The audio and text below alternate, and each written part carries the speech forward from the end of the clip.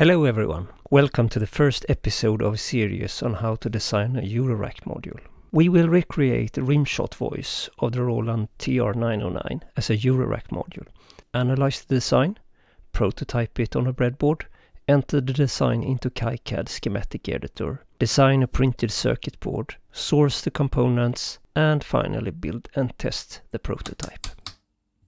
We have a lot of work ahead of us, so let's get started. The circuit consists of three bandpass filters that when triggered will produce an impulse on the output, a sine wave of the center frequency that decays over time. The outputs are mixed together, clipped with a pair of diodes and further shaped with a fixed envelope generator and VCA. The final stage is a high-pass filter. As you probably already are aware of, the original design, made in the early 80s using domestic Japanese components, have been redesigned with more modern components already, and a complete schematic diagram is available on Hexinverter's website. There is also the 1990 project with a similar circuit diagram to look at. So basically, all the heavy lifting have already been done by them. But let's talk a little about breadboards. There are different price levels for breadboards, starting with the cheap ones around 10 euros up to 100 euros for the most expensive ones, for example from uh, 3M. This one is one of the cheap ones. It has plus and minus marking, which is good, and there are different sizes available, which is great if you want to breadboard something small.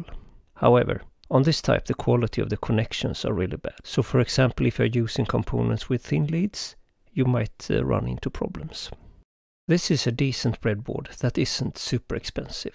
The quality of the plastic and the connectors are much better than the cheap one. But you will need to bridge the power rails together with some wire, since left and right side are isolated. The last one is a good one that I have bought second hand. It's definitely worthwhile to look for breadboards in the used market. If they are from a good brand and still look okay, they are probably almost as good as new. The YouTuber Ben Eater have a great video on breadboard quality if you want to know more.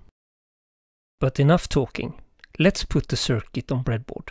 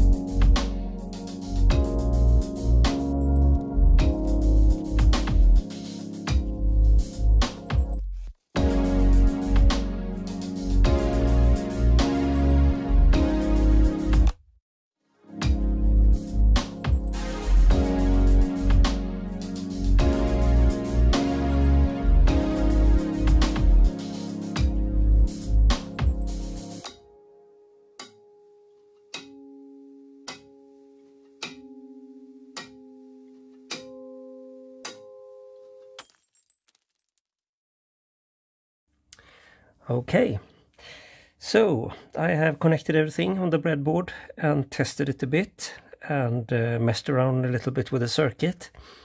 And uh, what I've done is that I have uh, added two pots to uh, to the bandpass filters. The first one still has the 2.2k resistor, but the other ones have 5k uh, uh, pots on instead of the 2k resistors. Alright, so I have dialed in something that I think is pretty close to uh, to what um, 909 uh, rimshot sounds like, uh, and it uh, sounds like this.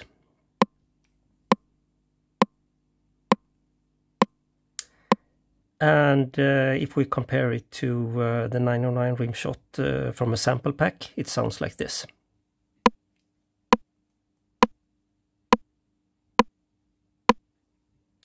All right, so you can hear, that it, it's a little bit uh, different, but uh, not so much. It's uh, quite sim quite uh, close to the real thing.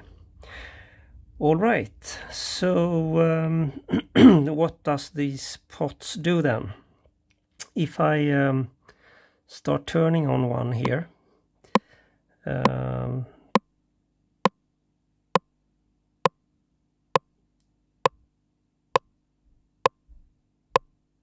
you can hear that it's uh, uh, changing the pitch a bit. and we can change the other one.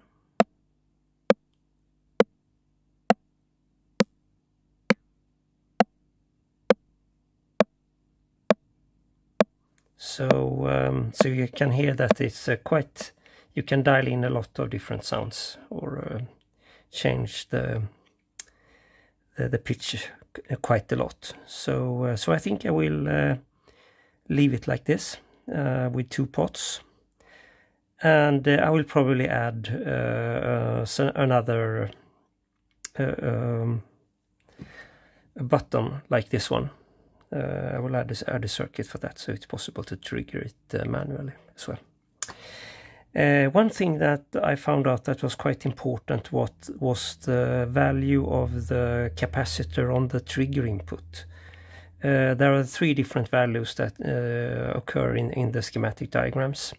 Uh, 10 nanofarad, 15 nanofarad and 18 nanofarad and 18 is the value that is used by by Roland in the 909 TR909 and uh, so I, I, think that it actually sounds uh, the best so I, I, will choose that and uh, 18 nanofarad is a quite a difficult uh, value to get hold of so you can combine 15 uh, nanofarad in parallel with 3.3 nanofarad and then you get something that is close to uh, 18. All right.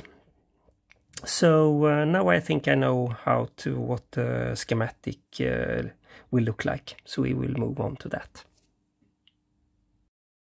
Okay, so let's look at the results from the breadboarding session here.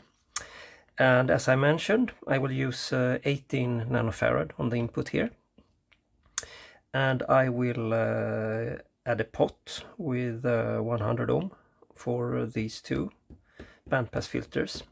This one will still keep the, the fixed uh, resistor. And I will add some kind of circuit for, uh, for the cherry key on the front panel as well. Alright, that's it for today. In the next episode we will draw the schematic diagram into KiCad schematic editor. Until then, take care and I'll see you soon.